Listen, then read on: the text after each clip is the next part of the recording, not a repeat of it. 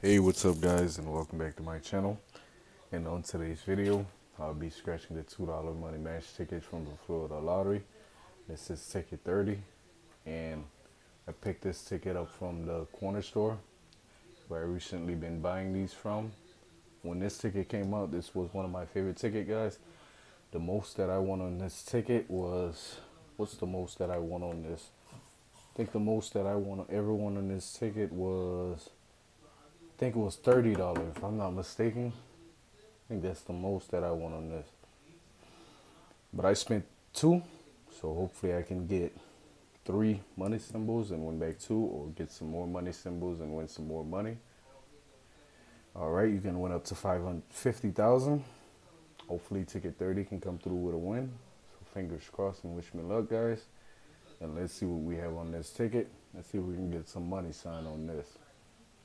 All right, guys. Let's see. We have the emeralds. The emeralds. We have the treasure chest. We have the diamond. We have the bow tie. We have the bell. All right. We have the piggy bank. We have the crown. We have the coin. We have the vault. We have the moon. It's not looking too good. I haven't got no money symbols here. so I don't think this one's a winner. We have the bank. We have the pot of gold. we have the gold. We have the coat. And we have the money. Yeah, this one wasn't good at all, guys. As you can see, looks like we only got one money symbol. Usually we get two, but we only got one. So on ticket 30, this ticket is a bus.